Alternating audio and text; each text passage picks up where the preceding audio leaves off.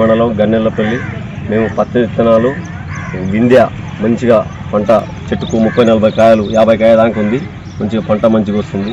తొందర అందుకుంది పంట. ఈ పంట అయిపోగానే మళ్ళీ పల్లీలకి టక్కర వస్తాడు పంట వచ్చాడు రెండో పంట కూడా అవకాశం ఉంది. రెండో పంటకు అవకాశం ఉంది. కుచ్చు గిచ్చు లేదు, కాపు మంచిగా ఉంది. కాయ సైజు బాగానే ఉంది మంచిగా సైజు. ఆరు గ్రాములు ఉంటుంది. ఆరు ఏడు గ్రాములు దాకా ఏడు గ్రాములు ఉంటుంది. విందే వింధ్య.